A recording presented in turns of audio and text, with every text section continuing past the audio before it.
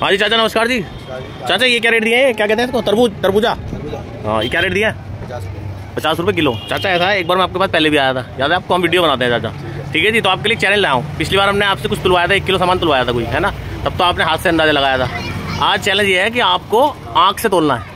क्या कहाँ से तोलना है? आँख से। आँख से। कैसे तोलना है ये मैं बताता हूँ। राज भाई इधर जरा। आँख से ऐसे तोलना है कि जैसे आपने आँख से देख लिया ऐसे अभी देख रहे हो आप? तो आपको बता देना कि कितने ग्राम का है। फिर राज़ी भाई उठा के तराजू पे रखेंगे। आपको हाथ नहीं लगाना खाली आँख से बताना है। ठीक है? राज भाई उठा के तराजू पे रखेंगे। मान लो आपने बताया कि भाई ये तीन सौ ग्राम का है। उसमें पचास ग्राम ऊपर आता है या पचास ग्राम नीचे आता है? पचास ग्राम तक का फ़र्क आता है। तो आपको दो सौ मिलेंगे चाचा। ठीक है? दो मौके दूँगा आपको। समझ गए जी? एक के दो सौ एक के दो सौ। कुछ मन में शंका हो तो बताओ। समझ गए पूरी बात? पक्की बात है? दो मौके मिलेंगे। ठीक है चाचा? चलो जी करते हैं शुरू। देखो जी हाथ नहीं लगाना आँख से बता दो। चलो जी। ये तजुर्बे की बात है चाचा। उठाओ जी। हाँ जी। छः सौ ग्राम। छः सौ? देख लो चाचा पक्की बात? रखो राज़ी भाई।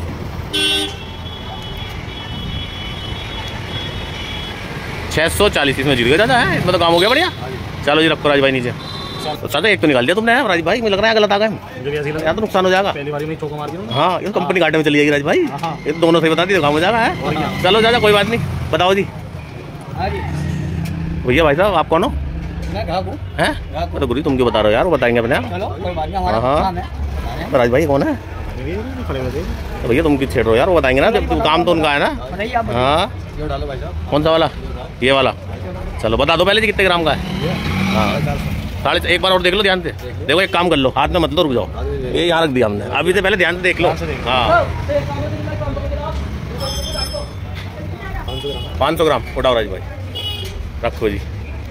देखते हैं भाई साहब। ए सात सौ अस्सी ग्राम आया जी। हाँ जी। हो जी इसमें तो गड़बड़ हो गई थी है। एक हम जीत गए एक आप जीत गए। चलो जी राज भाई क्या करना है बताओ। हाँ हाँ। क्या हो गया?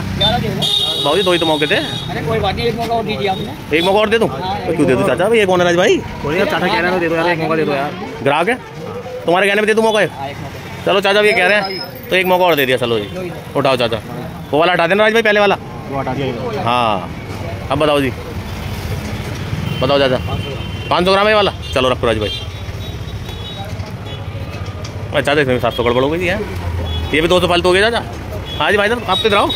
आपका नाम क्या है? हैं? गुरु तुम बार बार लकड़ी को ले रहे हो तो बताओ यार। हैं? हम नहीं लेने गए? गलती मान रहे हो गलती मान रहे हो? चलो जी ठीक है जी। तो चाचा बहुत बढ़िया जी। चाचा एक बात तो बताओ पहला वाला तुमने बिल्कुल सही निकाल दिया। दो में क्या दिक्कत हो गई? ऐसे वज़न पता हाथ में लेके तो बता देते हैं ना? चलो चाचा कोई दिक्कत नहीं। ये लो जी ये लो चाचा। लाओ जी। क्या? ऐसे? सब ऐसे तुम्हारे थोड़ी भाई साहब इनके हैं। हैं हैं? हैं तो राज भाई कौन है? जानने वाले पता जानने वाले थे गले जा भाई तो मुझे छड़े जा रहे हैं बार बार हाँ। मैं पैसे दे रहा हूँ कह मुझे देते पैसे। चाचा बताया उन्होंने भाई साहब तुम्हें कह दे दूँगा। लो चाचा।